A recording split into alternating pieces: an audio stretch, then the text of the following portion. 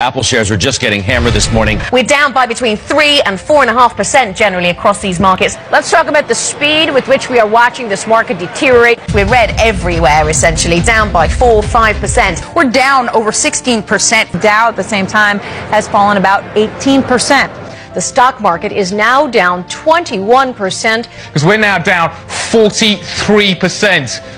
What in the world is happening on Wall Street? Two-year no yields went from 190 to 166 in the blink of an eye. On the NASDAQ, everything and more has been completely wiped out. It was the worst day on Wall Street since the crash of 1987. From the financial capital of the world, the opening bell is going to ring in uh, five seconds, and to be honest with you, we wish it wouldn't.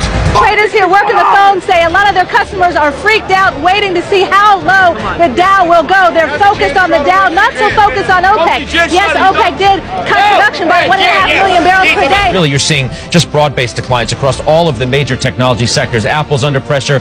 Uh, Yahoo down 8.5%. Cisco 6.5%. Research in Motion 10%. And we're not getting the bid wanted. We're not getting the stop trading, and we see where the where the buyers are. We're just every day they're pounding it.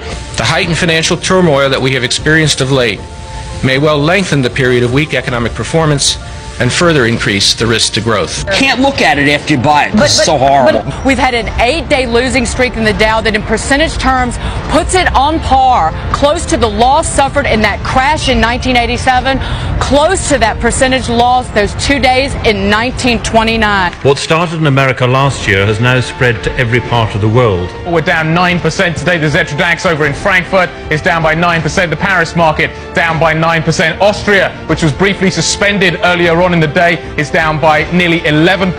This market is as volatile as you'll ever see. Traders saying this is the craziest day they have ever seen in these markets. Veteran traders saying they've never seen anything like it. The movement in oil prices so fast, so Seconds to go until the start of trading at the New York Stock Exchange, and stocks are set to kick off lower, a whole lot lower. eBay is down 6.5%. And really, you're seeing just broad-based declines.